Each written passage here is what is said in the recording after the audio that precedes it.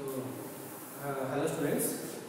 So, in the last class, uh, we have studied about your Maxwell equation.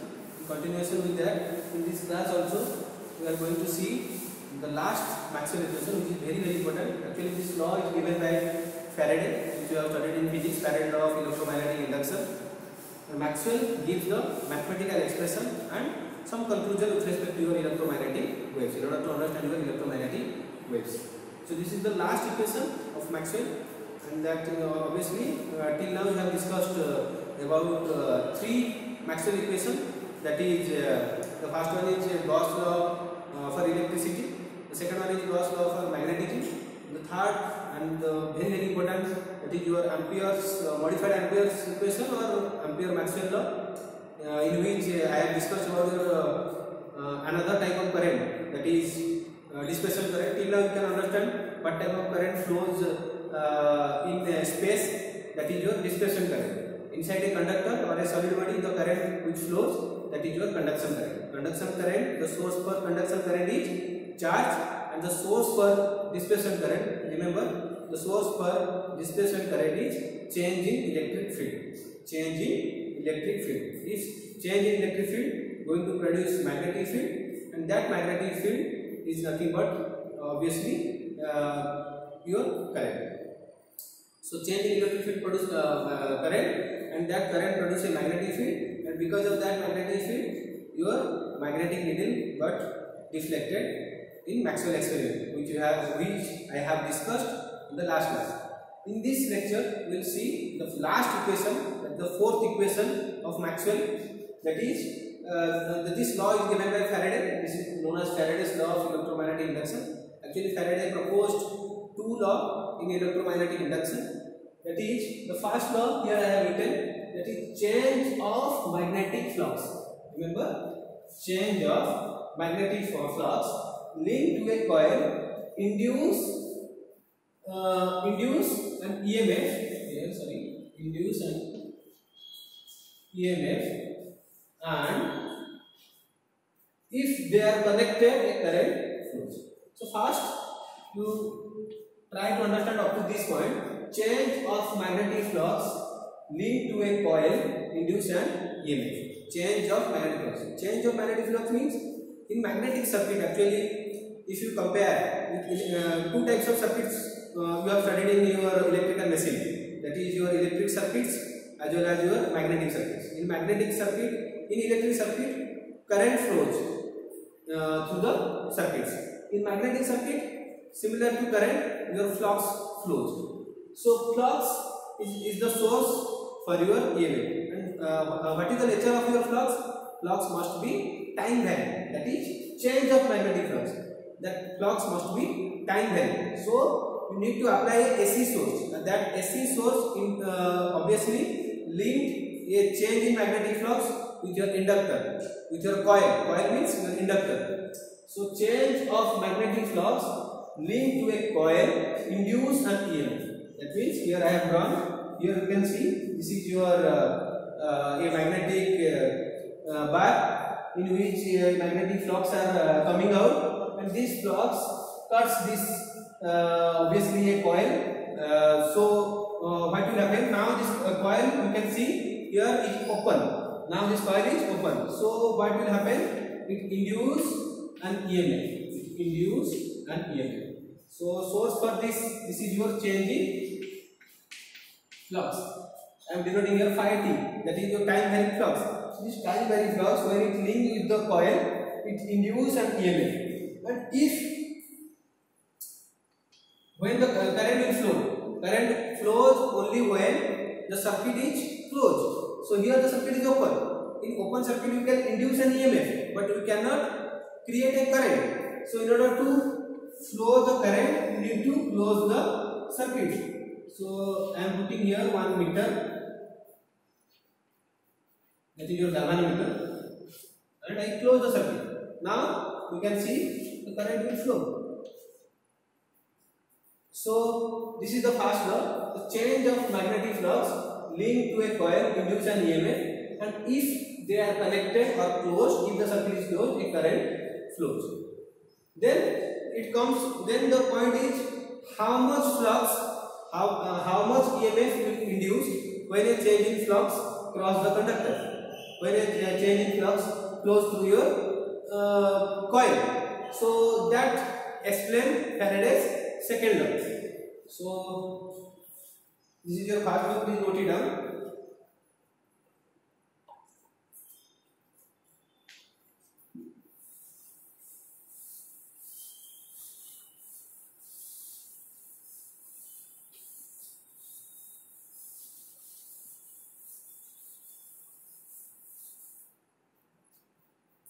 So what is the second law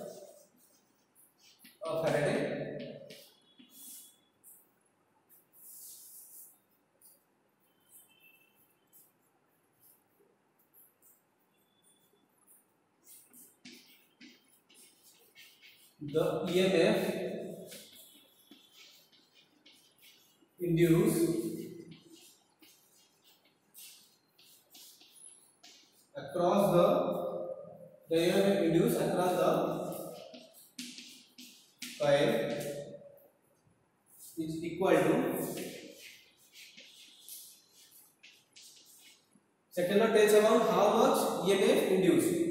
The second law tells about how much EMF induced. So I am, I writing here the statement that EMF induced across the coil is equal to rate of change of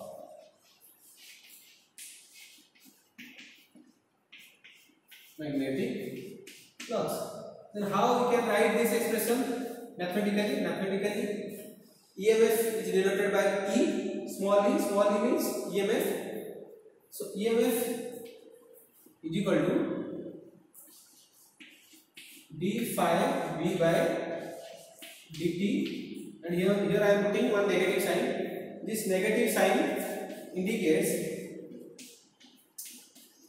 that is given by your lenses. Negative sign indicates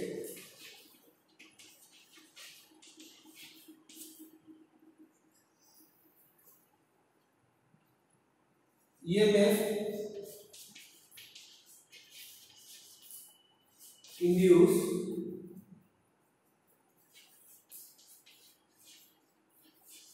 opposes the change in flux. Change in flux. So negative sign indicates the EMF induced opposes the change in flux. So second law, what the second law tells about? The second law of Faraday tells about how much EMF induced and uh, what this law states the EMF induced is equal to the rate of change of magnetic flux and E is equal to minus d phi v by dt. So why uh, what, uh, what observation you can uh, see here from this equation that is one of the term is, negative and another is time varying. Here the flux is time varying. Obviously uh, if the flux is constant the derivative is uh, uh, obviously zero. So the nature of the flux is time varying then only this term will be the finite this term will give you a finite value otherwise the derivative will be zero if the flux is constant. So a time varying magnetic flux, a time varying magnetic flux produces an EMF. Produces an EMF. So this is the Faraday second law. Then why atom this is important with respect to our electromagnetic wave. With respect to our electromagnetic wave that you can see uh, for your for example uh, your television you have an antenna over your room uh, which is fixed on your roof then when uh, a signal is coming from your satellite nowadays we are using DTH that is your satellite based uh, television. So uh, when a signal is coming fast it reaches that is the signal must be a time varying source that, and that signal induce an EMF on your antenna conductor and finally the, uh, current will flow through your television and you can see the signal. So obviously first this flux is induced and this rate of change of flux will generate an EMF and because of the EMF, EMF is the source for your current. So this is very very important with respect to your electromagnetic wave and Maxwell actually gives the mathematical equation with respect to your electromagnetic wave. So I am now going to write the Maxwell Faraday equation. This is your fourth equation. This is uh, actually I am explaining the laws for your uh,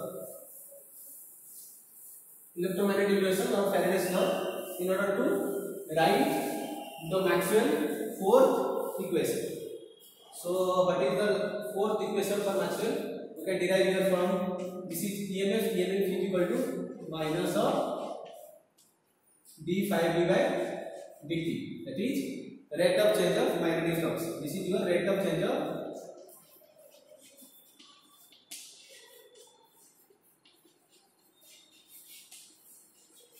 change of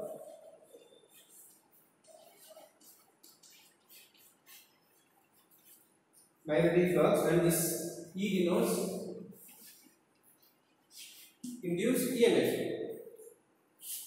So, and from electric field we have known that E is equal to this is for your law of difference dB by dx. This is the relation for between your electric field with respect to your voltage. So E is equal to dB by dx that is potential difference. The change in potential difference with respect to space is going to create your electric field. So E is equal to actually minus dB by dx. So this comes as a so this dB is equal to minus of integration of E dx. So I am going to use that in writing this EMF in terms of electric field in terms of electric field. Please note it down. So E vector dot this minus and minus got cancelled out. E vector dot dl D vector dot dl equal to d b by dt into a. Here b is the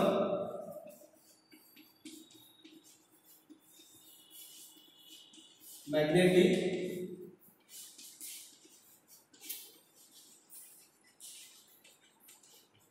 flux density.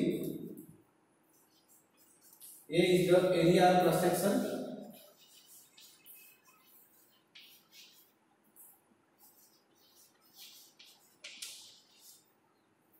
And how this phi is related? Phi is nothing but sorry, what B is equal to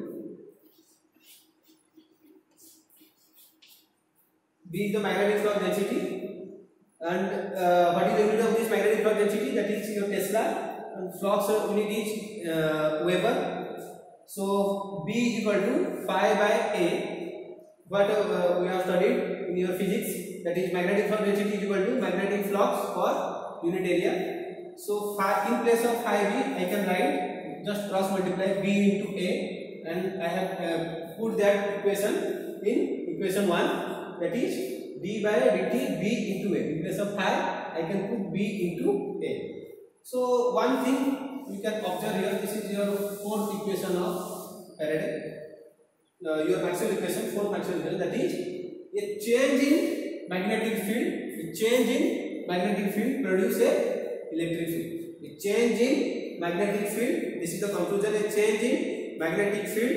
A time varying magnetic field produce a electric field. In Ampere's modified law, what we have seen? A time varying, a time varying electric field produce a magnetic field. A time varying electric field produce a magnetic field. That is your Ampere's modified law or Ampere Maxwell law. This in this Maxwell fourth equation which states a change in magnetic field produce a electric field. So now it's the time for a summarization of all the four equations of Maxwell. Whatever you have studied till now. In your syllabus, they have only mentioned Maxwell four equations. So, in order to understand that, you need to understand all the laws and basic definition of electric field charge magnetic diagram. So, till now, I have been studying this. So, Maxwell equation, the first equation is what is this? That is your surface integral. That is surface integral of electric flux density is equal to Q enclosed. That is amount of charge coming out of a closed surface is equal to area under the electric flux density. Here D, capital D denotes electric flux density.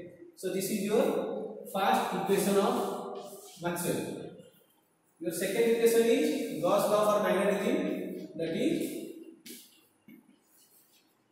area under the magnetic flux density is always equal to 0. What is the significance of this equation? The significance is isolated magnetic poles line of charge doesn't exist.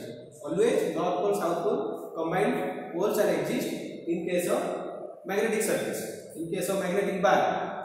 So the amount of area under the magnetic flux density is always equal to 0.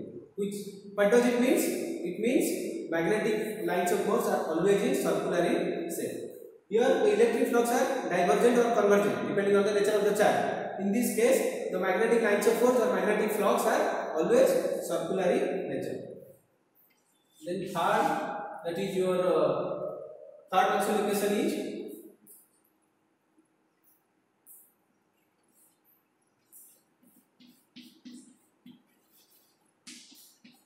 line integration of magnetic field intensity which is going to give you IC plus ID. IC plus ID means conduction current plus displacement current. So this is the third equation. Here the important conclusion is this time varying electric field.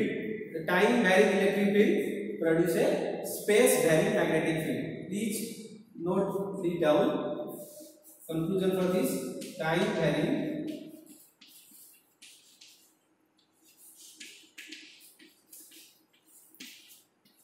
electric field produce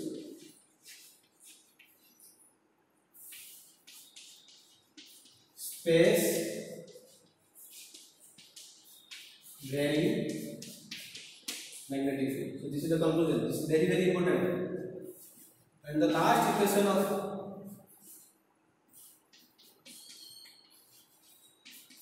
PdL equal to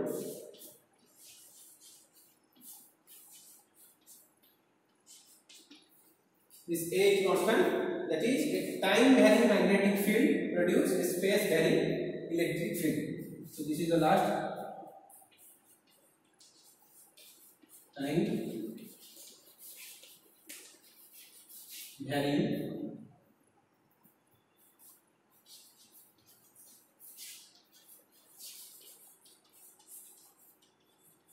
magnetic field produce phase varying